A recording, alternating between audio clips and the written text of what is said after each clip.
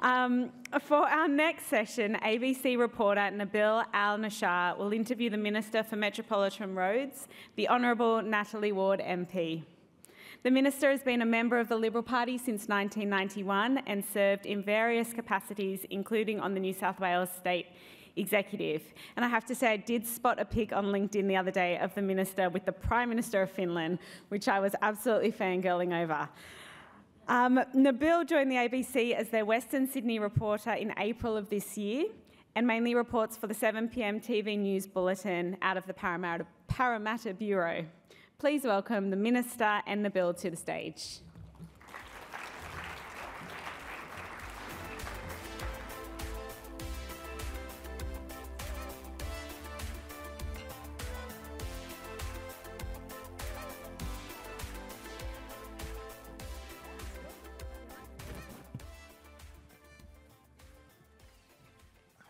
Right. Thanks for uh, being here with us today. It's nice to be out in uh, Western Sydney. Of course, as mentioned earlier, I'm from Parramatta, so this is east as far as I'm concerned. um, I'm very glad to be joined uh, by uh, Minister Natalie Ward here today, Minister for Metropolitan Roads, Women's Safety, and the Prevention of Domestic and Sexual Violence for the New South Wales Government. A couple of hefty portfolios you've got there. Thanks, Nabil. Yes, they are. I uh, like to say they're left brain and right brain, and um, it's amazing how they can dance together. It's a privilege, uh, absolute privilege to serve as the dedicated Minister for Women's Safety and the Prevention of Domestic and Sexual Violence, and um, you know a government that has record funding, 484 um, million dollars uh, to almost double the number of women's shelters in New South Wales. I'll never get a front page story about that, uh, but it is a really good story and it's a it's something that will change lives. So I'm proud of that. Together with legislative uh, reform as well, coercive control, uh, affirmative consent.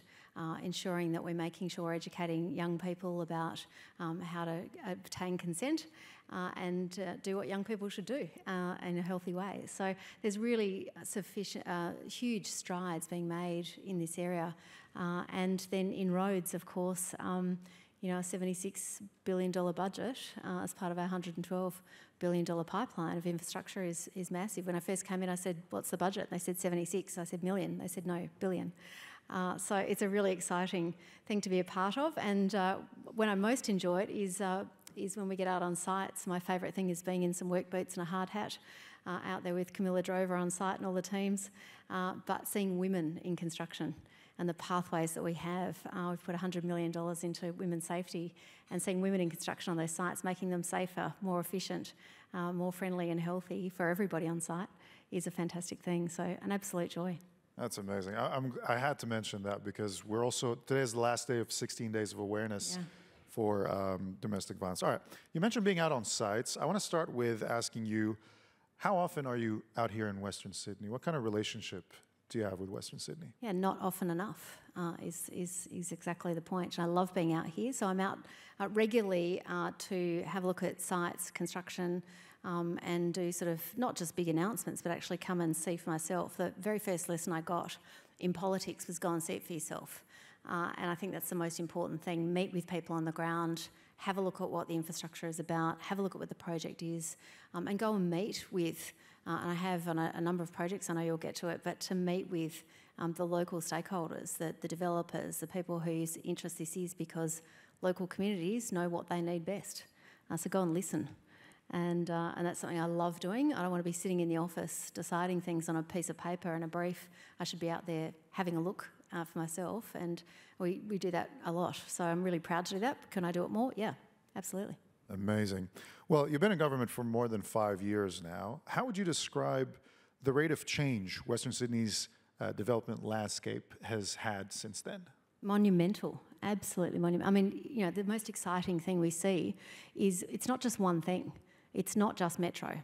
It's not just light rail. It's not just an airport. It's not just an M12. It's not just all of the local roads that go with that.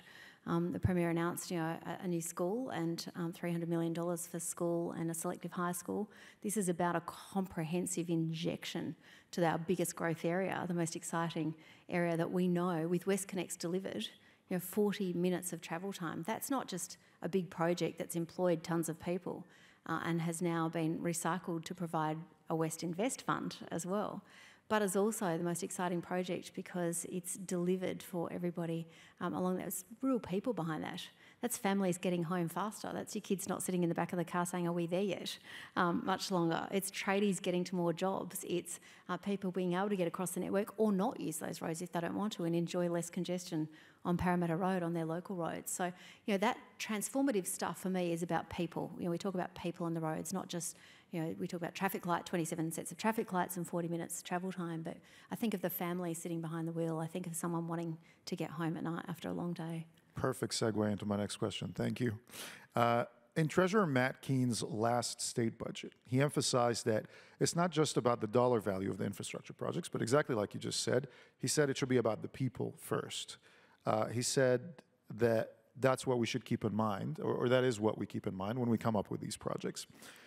My question is, how's that happening? What do you think the people's needs are right now? How do you prioritize what's the next big mega infrastructure project? Yeah, that's a great question. Um, and I think it is about putting people at the centre of everything we do. We are here to serve the people, uh, all of you. These are your assets, these are taxpayer dollars. Uh, they belong to all of you. And putting people at the centre of what we do is a real focus because that gives you your Northern Star to be able to guide what the priorities are. And that is about making people's lives easier. That is about getting them where they need to go across the network. It's about providing schools that are up, you know, upgraded and are local. It's about ensuring, you know, 180 new and upgraded hospitals so that we have local hospitals that are fit for purpose. Um, a lot of infrastructure, $112 billion pipeline, but that's not about the big billion dollars. It's about can I get to a hospital near me? Can I get across our network quickly? Can I get home to my family? And um, I think the big issues are cost of living for families. Um, I, you know, I pay a mortgage, I have electricity bills, I know what it's like for families to, to deal with those challenges. Um, and we want to be able to put more money back in the pockets of people to make their own decisions about what they want to do. Um, but that goes hand in hand with big infrastructure. I'm proud to be part of a government that's over successive elections has taken those hard decisions. I mean, a few of you might be old enough like me to remember the poles and wires election. You know, we're about to go into an election. That was a really tough election about what to do with poles and wires. But getting that mandate in that election allowed us to build WestConnex. And building West WestConnex has changed lives.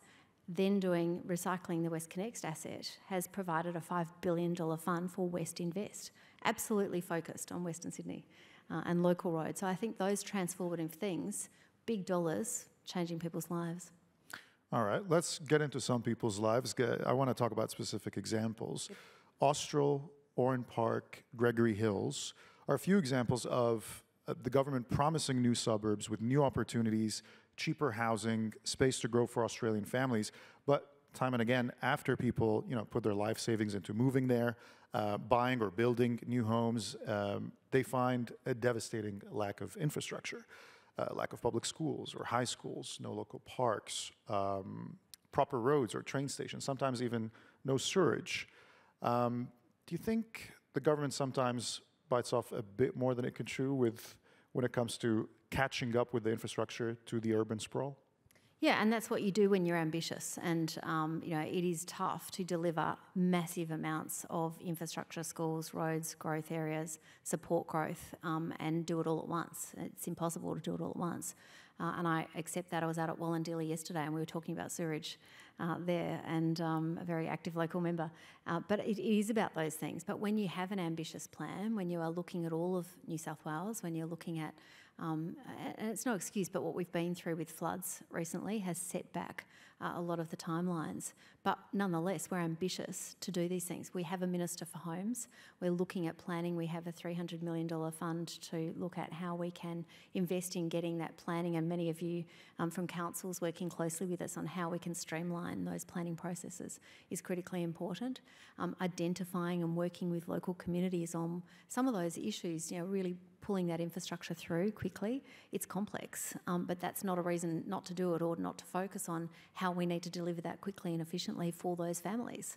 Um, and we know that we are actively supporting Western Sydney as a, the biggest growth area, uh, but we want people to be able to work, play, raise a family uh, locally without having to travel an hour and a half to Sydney to do it. And you know, we want to create all of those opportunities. So that's you know, as former sports minister, that's sporting opportunities, it's schools, it's education, it's transport links, it's making sure we have all of that. But we're we're quite you know, clear that we have this view and this vision and a plan uh, for New South Wales going forward, which is not just about us and now, it's about the next generation and our children's children.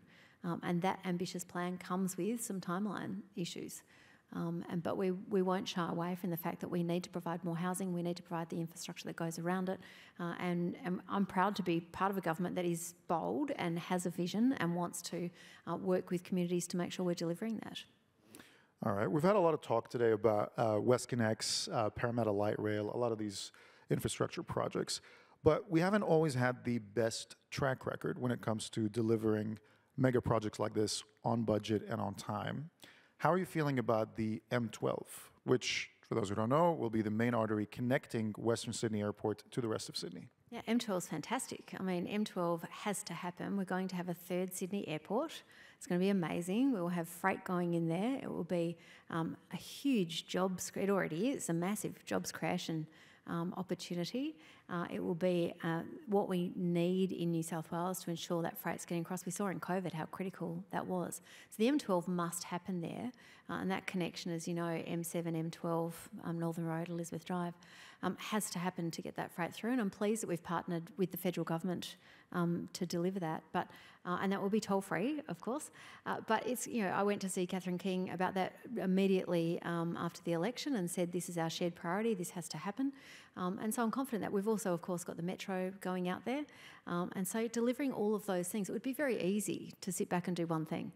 That would be the easier political option. That would uh, that wouldn't offend anybody, but it wouldn't get anything done. And so ensuring that we are doing metro, we're providing the lines out there, we've got the freight lines. We need, I know, we need to look at the local roads more carefully uh, and prioritise those. They are big, complex projects, but we are doing so much at once uh, with the Aerotropolis, with the Bradfield area, with um, the upgrades that we've done for Northern Road, um, Mamre Road, all of the others that need to go with that. It's, it is biting off a big chunk, but I'm, I'm proud that we can be ambitious about that because we know that that airport is coming. It looks amazing, uh, and the M12 will be that vital freight corridor through there. Same question, but 15th Avenue, which is going to be the road connecting Bradfield City to Liverpool and via that the rest of Western Sydney.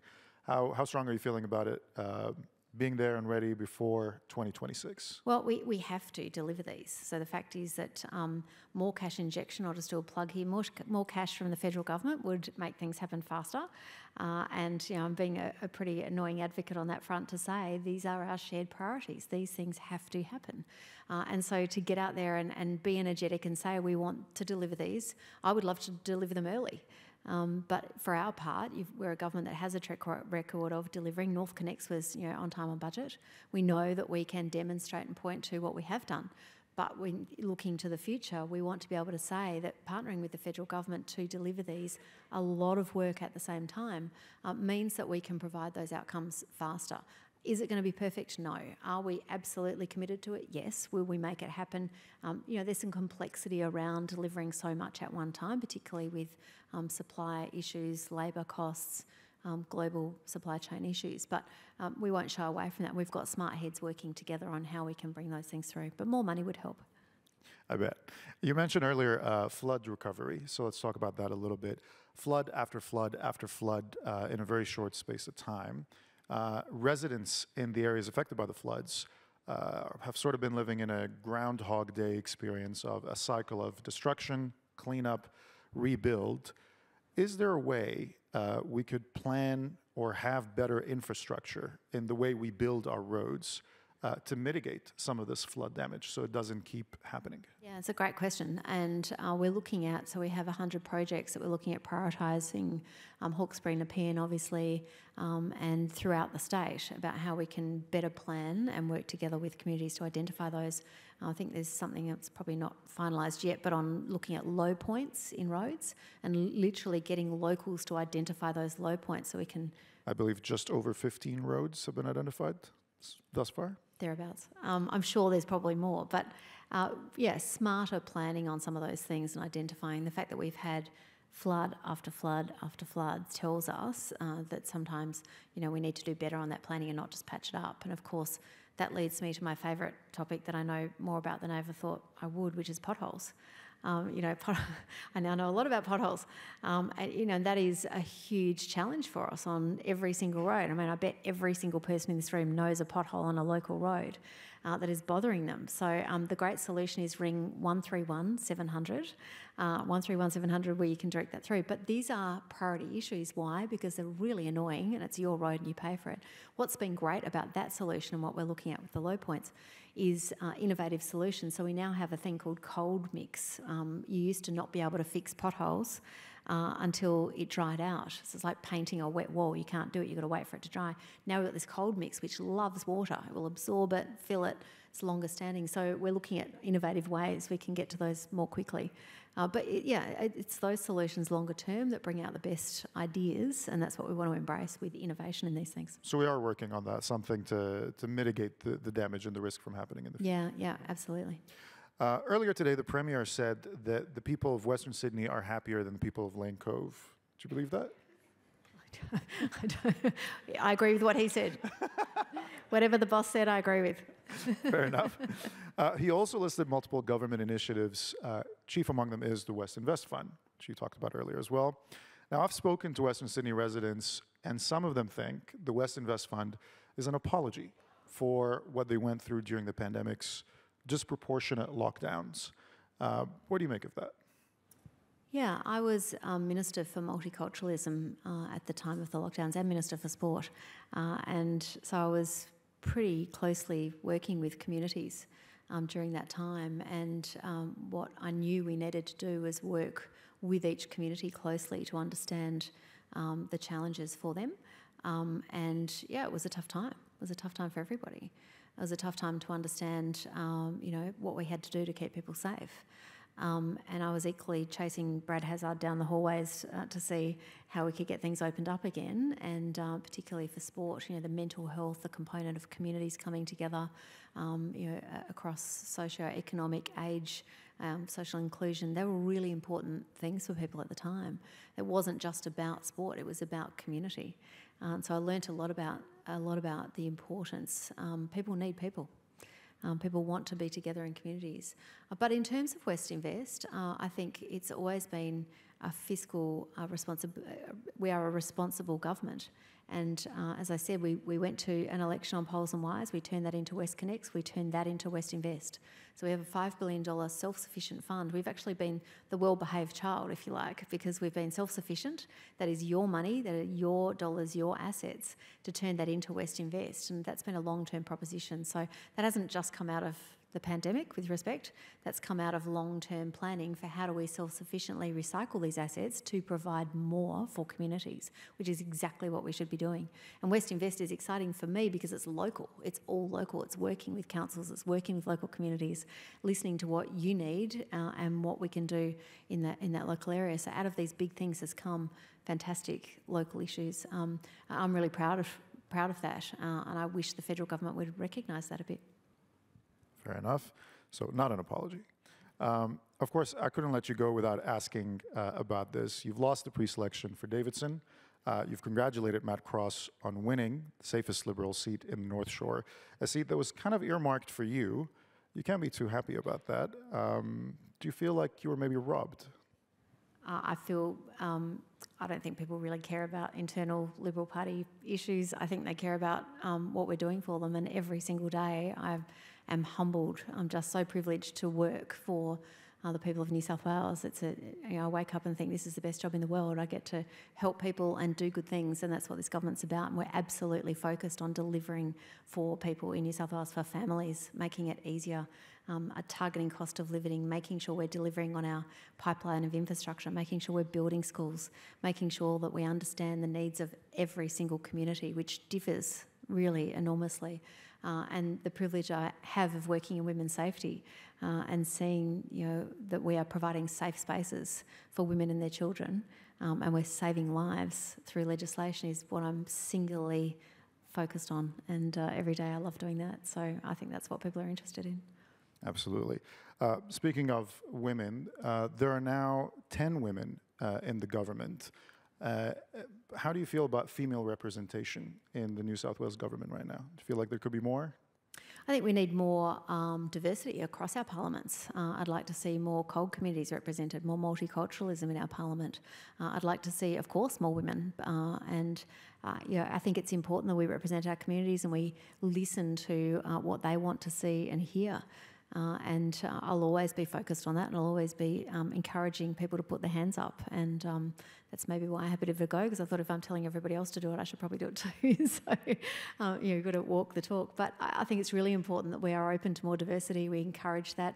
We're a bit better at uh, being child friendly now. You can take a child on the floor of the parliament, uh, which is great. And Scott Barrett was giving a speech, and his uh, two year old son was in the chamber, and he ran up to him, which would have been a terrible no no a few years ago. So, that kind of stuff, being more family friendly, um, keeping our hours a bit more sensible, makes for better outcomes. Uh, it makes for better decision making. It makes for uh, better views uh, being put forward.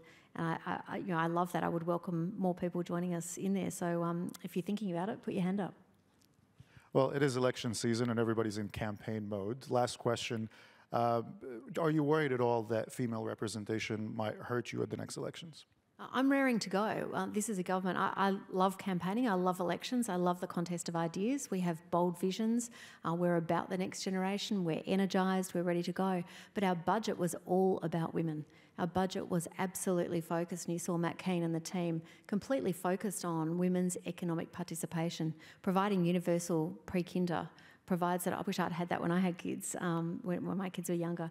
Uh, that provides the opportunity, if you would like to, to participate in the workforce. We will cover that year of pre kindergarten. $100 million in women's safety for me was magnificent because it meant that we could provide more of those measures to keep women safe at work, um, provide respectful places, down to things like safe um, Parramatta Park, you know, providing lighting and CCTV so when you're coming out of the train station, you can get across to your car without worrying about walking through a dark park where there was sadly a tragedy many years ago. So, you know, those things demonstrate our commitment to women, uh, to uh, a government that is focused on ensuring that we are including everybody in our population, but we're thinking about how women should be included and how we can back that in, not just with nice statements or nice legislation, but actually funding that to happen. Uh, and in my space, in women's refuges, you know, record funding is an absolute demonstration of our commitment uh, to women, to keeping us safe, and, and that's better for communities. Uh, so I'm really excited by that. Amazing. I could easily turn this into an hour long interview, but Chris Brown's about to kick me off the stage. So, Minister Ward, thank you so much. Thank you. Appreciate Great to see you. Thank you.